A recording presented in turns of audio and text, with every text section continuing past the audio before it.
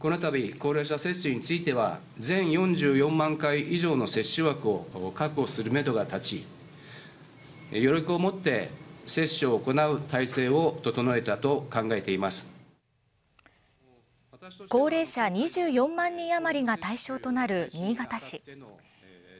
中原市長はおよそ7万4千人分の接種を拡充したことで